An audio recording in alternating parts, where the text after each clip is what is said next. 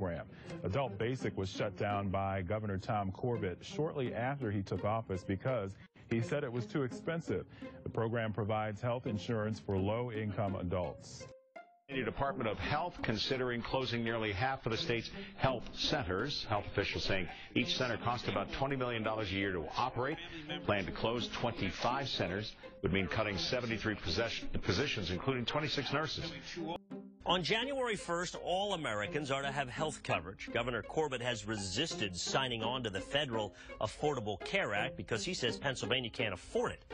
But today he played let's make a deal with the Obama administration and laid out terms and conditions under which he will agree. For critics, like the Commonwealth Foundation, a free market think tank, say the concern is private premiums for the poor, especially for those on welfare, will become too expensive.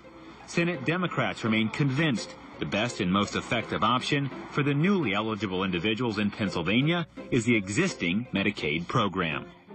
He did say yesterday he wants to use the Medicaid dollars to buy private insurance policies rather than expanding government roles. What is that, that could be that could be problematic because uh, if the private insurers' product are more expensive than the health exchanges would be, who's going to pay the difference?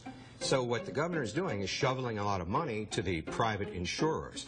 Uh, and it's arguable whether or not that's a, an appropriate thing to do. It's going to cost a lot more money. For the Pennsylvania Budget and Policy Center, and he says while they're happy that Governor Corbett is working to get more Pennsylvanians health care, the Pennsylvania Budget and Policy Center hopes this doesn't lessen health care benefits for those who already receive them it's important that any plan to expand health coverage, that it not come at the expense of the children, seniors, and people with disabilities who are currently receiving Medicaid benefits. The Democratic Obama administration has to sign off on this Republican governor's plan. I believe he's really setting it up for failure. Linda Anthony is with the Disability Rights Network of Pennsylvania.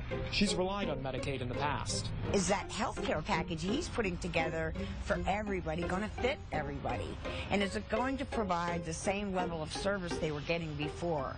Our concern is that it won't. Democratic State Senator Rob Teplitz worries the proposal is coming too late. We know an easier way to get there is by what the federal government has already approved and other states will be implementing January 1st. But here we are September 16th with a concept.